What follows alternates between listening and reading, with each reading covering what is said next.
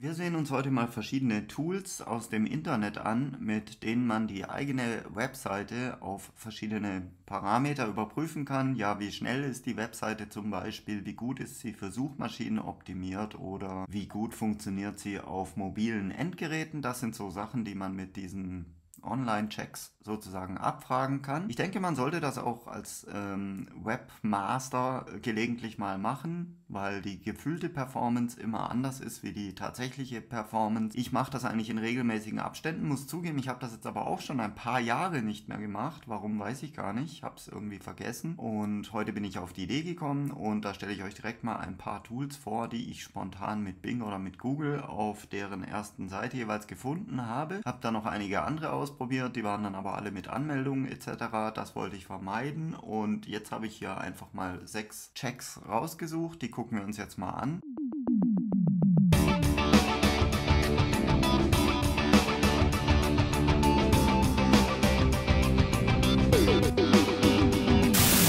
Geht um diese Webseite hier. Das ist meine Webseite, wer die nicht kennt. Und ich habe jetzt zum Beispiel bei Google mal eine Anfrage gestellt. Dieses Produkt hier heißt Page Speed Insights von Google. Ihr seht hier oben auch die Adresse und da gebe ich einfach die URL meiner Webseite ein und dann bekomme ich hier ein Ergebnis in verschiedenen Bereichen ist das Ganze unterteilt. Wir haben den Bereich Leistung, Barrierefreiheit, Best Practices und Suchmaschinenfreundlichkeit. Und beginnend, äh, jetzt gehen wir in die Details, äh, ist hier die Kategorie Leistung aufgeführt. Ähm, hier sieht man halt, wie lange das Ganze braucht und wie gut diese Werte sind.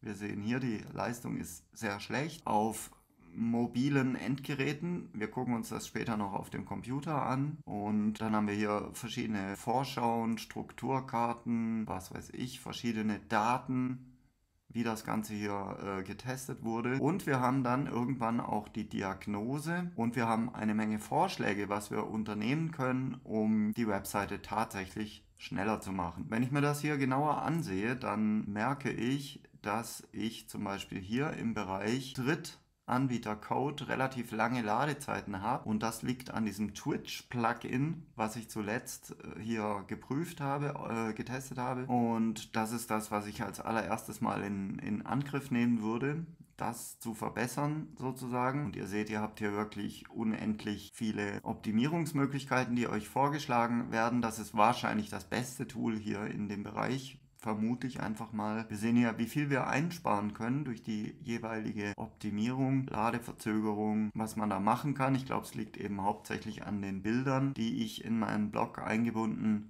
habe. Ja, hier gibt es eine Menge im Bereich äh, Geschwindigkeit. Dann gibt es hier den Bereich Barrierefreiheit. Da werden Kontrastverhältnisse von Hintergrund- und Vordergrundfarben und solche Sachen abgefragt. Da bin ich ziemlich gut aufgestellt. Also was ich wirklich machen muss, ist die Geschwindigkeit der Webseite verbessern. Und dann gibt es hier noch Best Practices. Hier werden zum Beispiel alte APIs verwendet. Also in diesem Twitch-Plugin vermute ich. So, dann gibt es äh, Drittanbieter-Cookies. Das hat alles mit diesem blöden Twitch-Plugin zu tun. Und wenn ich das nicht getestet hätte, jetzt eben, wäre mir das gar nicht aufgefallen. Dann gibt es hier noch den Bereich Suchmaschinenoptimierung. Da ist Google überraschenderweise sehr zufrieden. Es werden grundlegende Tipps für die Suchmaschinenoptimierung berücksichtigt. So, wir könnten uns das jetzt noch im Bereich Computer ansehen. Da sieht es nämlich ganz anders aus. Im Bereich Leistung zum Beispiel. Ich habe das Twitch-Plugin jetzt inzwischen aber schon ausgebaut. Deswegen stellen wir die Suchanfrage hier einfach nochmal neu. Wir analysieren die Webseite nochmal neu und wollen mal sehen, ob sich durch das Abschalten des Twitch-Plugins irgendwas geändert hat. Dadurch hat sich die Leistung massiv verbessert, wie ihr hier seht. Das ist super.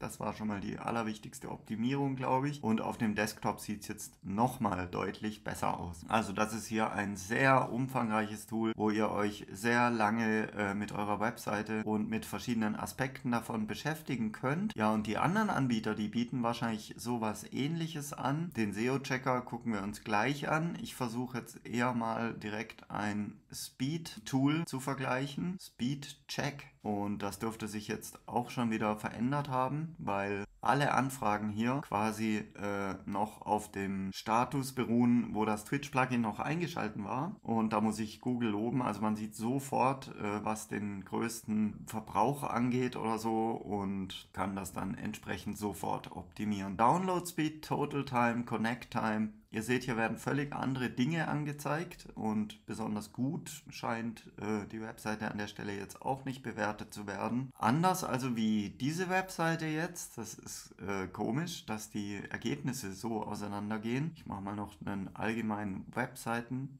Check. Mal gucken, was da rauskommt, wenn wir schon auf dieser Webseite sind. Pergamon Interactive Total Score. Also hier sehen wir auch nochmal Geschwindigkeit und so weiter aufgeschlüsselt. Download Speed relativ schlecht. Insgesamt wird mir hier, weiß ich nicht, so schlecht sieht das doch gar nicht aus. Ich habe aber nur zwei Sterne erreicht. Die Seite ist verbesserungsfähig. Es gibt ein Ranking im Vergleich zu äh, 30.663 bisher überprüften Seiten. Also so schlecht ist es auch wieder nicht. Gutes Mittelfeld. So, und dann gibt es hier die Checkliste. Ah, hier wird uns vorgeschlagen, was wir tun können, wobei uns das eben alles ganz anders aufbereitet wird wie bei Google. So, hier können wir noch in die Details gehen. Im Bereich Meta-Elemente, Struktur, Technik, Konfiguration, Markup, Recht, Suchvorschau. Also so ganz Übel finde ich das hier auch nicht, wobei ich glaube, dass das äh, PageSpeed Insights Tool besser ist. Das war der SEO-Check, den nehmen wir uns noch ein bisschen auf. Das hier ist tendenziell auch eher so ein allgemeiner Check und kein Speed-Check. SEO-Analyse, Website, Speed-Check.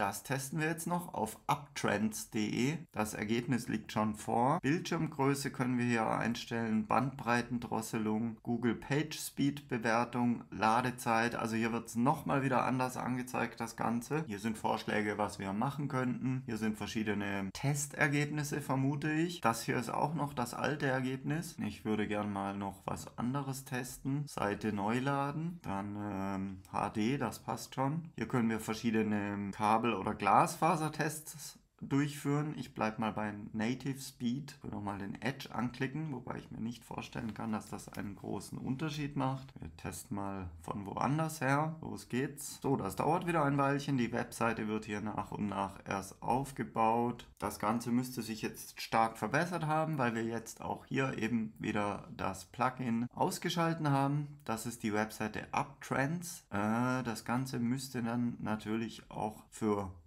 Mobile Geräte funktionieren. Mobile. Hier können wir Gerätetypen einstellen. Zum Beispiel das Google Pixel 7 Native Speed Test starten von London aus. Bitte warte, während wir die Ergebnisse erhalten. Hier sehen wir jetzt also, die PageSpeed-Bewertung ist auf dem mobilen Gerät bei weitem nicht so gut. Das unterscheidet sich dann aber wahrscheinlich auch wieder von Gerät zu Gerät. Also das hier ist auch im Prinzip eine, ein Speed-Test wie genau wie die anderen zwei vorher und alle bereiten sozusagen die Daten anders auf. Am sinnvollsten finde ich hier, glaube ich, definitiv noch PageSpeed von Google. Dann kommen wir jetzt mal zu den allgemeinen Checks. Analysieren Sie Ihre gesamte Webseite. In dem Fall ist das sitewert.de. Äh, gleicher Content, das ist schlecht für die Suchmaschinenoptimierung. Gleicher Titel und so weiter. Fehlende Seitentitel. Möglichkeiten, um suchmaschinenrelevante Inhalte unterzubringen. HTML-Probleme, das Ganze wird hier aufgeschlüsselt. Und wenn ein grünes Häkchen da ist, scheint das in Ordnung zu sein. Und wenn ein rotes Warnschild da ist, dann scheint das überarbeitet werden zu müssen. Ja, ist auch eher rudimentär hier alles.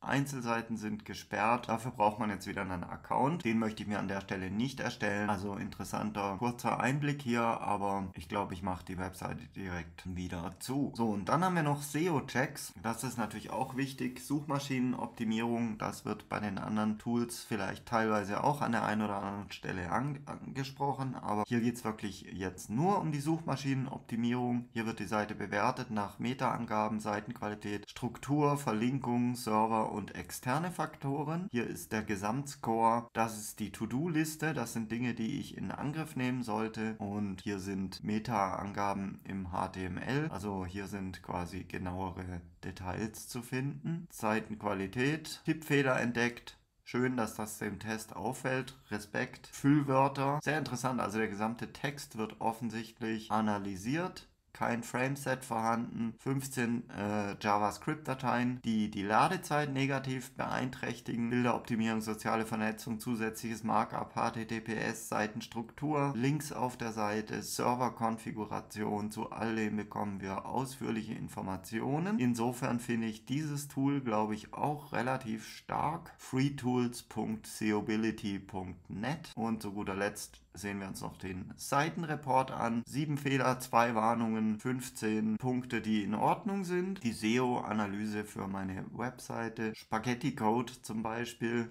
auch interessant, dass das Tool das findet sozusagen und dass es das auch hoffentlich richtig einordnet von der Priorität her. RSS-Feeds. Ja, hier noch Details auch hier teilweise nur für Premium-Mitglieder verfügbar. Da muss man sich dann leider anmelden. Aber ich finde das hier auch halbwegs interessant. Auch ohne die gesperrten Daten sozusagen. Keywords und vieles mehr. Headlines, auch hier könnt ihr ordentlich runterscrollen. Mobile Geräte, Sicherheit, Zukunftsfähigkeit. Auch das ist ein sehr umfangreiches Tool. Seitenreport.de sind zwar einige Inhalte gesperrt, aber ich finde es trotzdem relativ interessant. Also Fazit ist, alle Webseiten, die ich vorgestellt habe, verarbeiten die Daten anders, äh, stellen die Daten anders dar. Ich würde mich jetzt nach diesem kurzen Test hier tatsächlich für diese Seite bezüglich wirklich Suchmaschinenoptimierung entscheiden und ich würde mich für Page Speed Insights von Google für die Geschwindigkeitsanalyse entscheiden. So, ich hoffe, das fand jemand interessant. Ich habe keine Ahnung, haben die Menschen überhaupt noch eigene Webseiten? Ich habe noch eine. Ich kann mir vorstellen, dass viele gar keine eigenen Webseiten mehr haben, sondern nur noch irgendwelche Unternehmensprofile bei Google pflegen oder bei Facebook irgendwelche Seiten, Twitter-Account und so weiter und so fort. Hinterlasst mir gerne mal einen konstruktiven Kommentar, das würde mich interessieren interessieren. Abo oder Like, wenn euch das Video gefallen hat. Und dann sehen wir uns hoffentlich demnächst in einem anderen Video wieder. Bis dahin macht's gut. Vielen Dank fürs Zusehen. Schönen Abend und